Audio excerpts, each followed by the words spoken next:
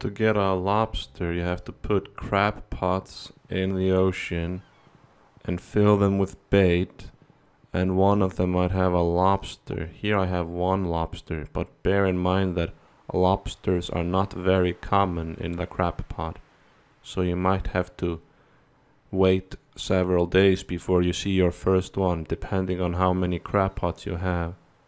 And uh, that's how you get a lobster, okay? Thanks.